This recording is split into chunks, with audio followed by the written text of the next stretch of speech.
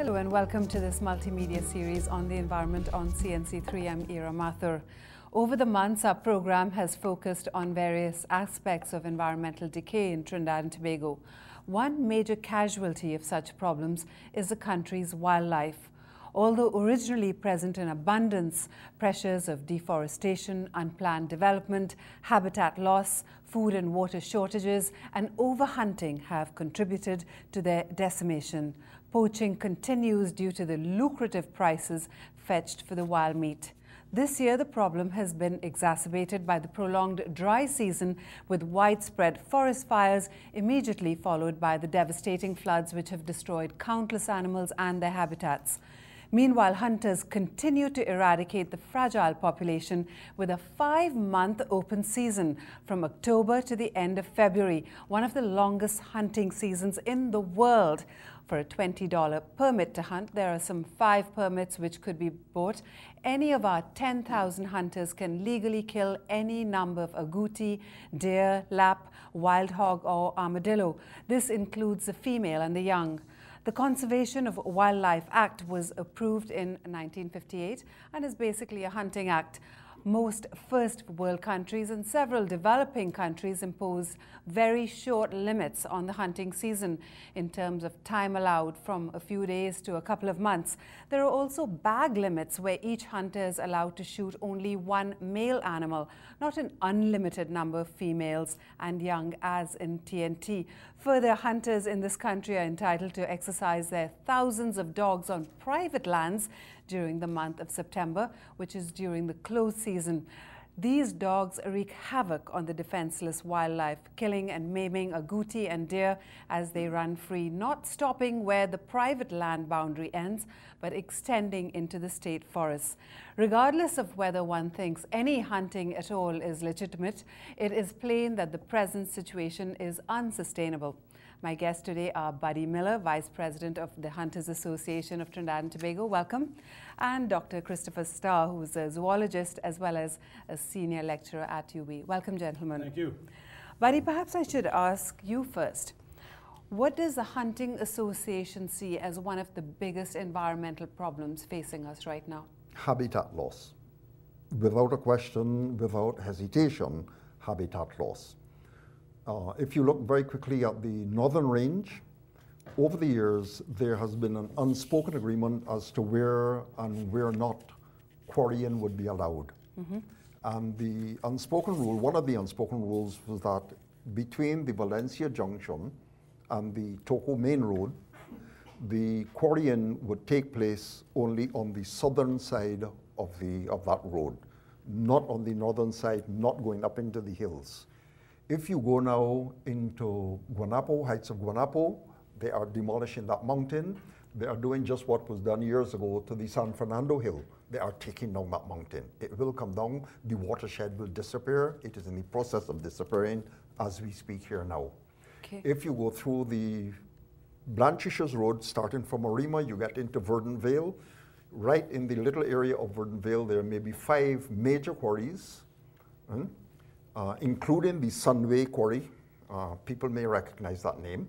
And again, right over the Asa Wright Nature Center, there is a whole mountain that has been coming down over the last year or two. Right. Well, Have we, we, we actually want to do a separate program on quarrying, but uh, now I'd like to go to Dr. Starr. Dr. Starr, in addition to some of the points raised by Buddy, what do you think are some of the major environmental issues facing well, first us? of all, you've, you've outlined very well what the problem is. And uh, Buddy is, is quite right that habitat loss is a serious thing. But he and his organization, I think, are misdirecting us in focusing on that. It's a factor, but I don't believe it's anywhere near the major factors. The major factors you outlined yourself the absurdly long hunting season and the sale of commercial wild meat.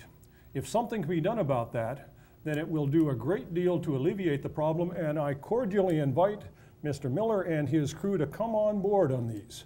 It should be in their interests to uh, help the recovery of, the, of, of wildlife through these two key measures.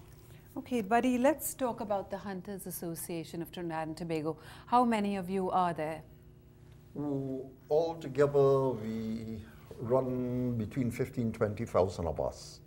And you're all registered with the association? Yes, yes, yes. What do you make of this very, very long hunting season? Do you think it's, The, it's good? the, it's the very, very long hunting season, in fact, has been shortened at the initiative of the hunters. In law, still, the hunting season is six months.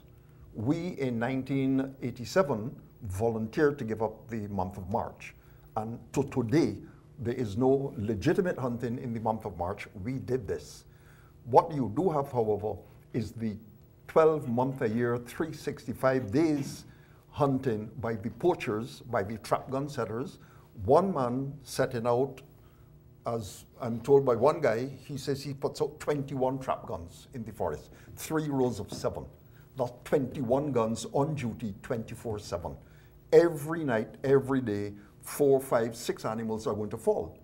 He also then confesses that when he goes in in the morning to harvest what he's shot overnight, he can take only as much as he can carry, and the rest are left on the spot. Well, I want to come back to that whole question of poaching.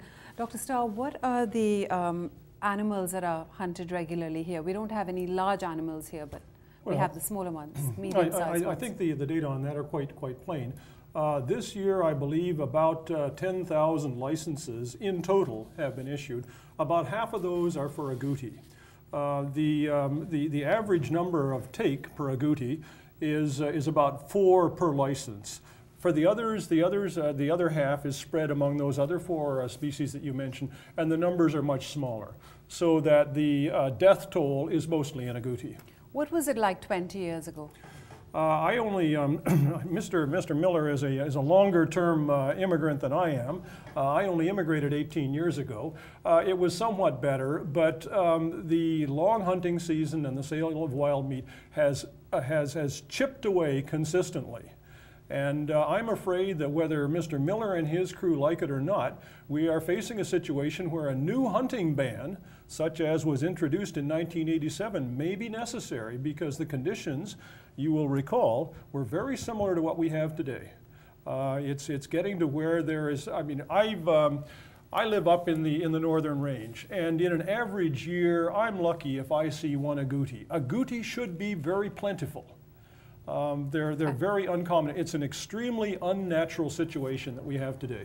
And I want you to respond to that when we come back. We'll take a short break.